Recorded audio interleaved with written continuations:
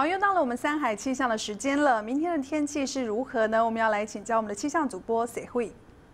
好的，古木楼嘎达瓜啦，我是水慧。今天天气比昨天还不稳定，因为受到西南气流的影响，中南部地区都有大雨发生，在云林的台西也累积将近一百毫米的雨量。明天天气会稍稍稳定一些吗？我们马上从卫星云图带来关心明天各地的天气状况。从卫星云图上呢，你可以看到今天在台湾附近呢，云量是明显增加了，而且你可以看到今天受到华南沿海的低压云带移入，再加上西南风增强的关系，所以在中南部地区都有大雨发生。明天西南。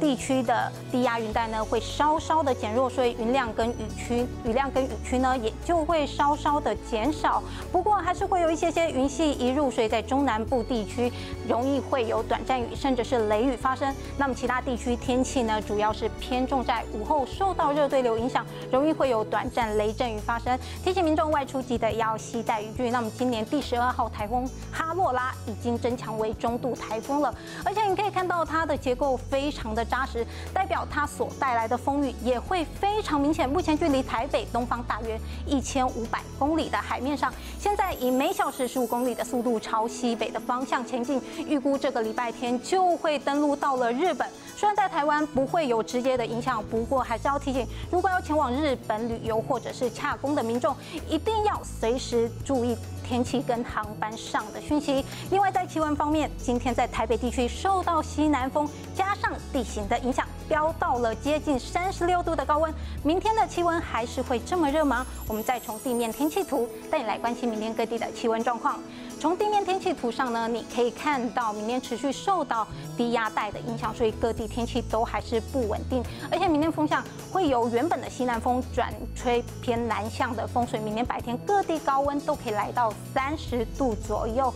而且你可以看到明天的等压线是密集，就代表风力强。所以在空旷的沿海地区呢，容易会有九到十级的强阵风。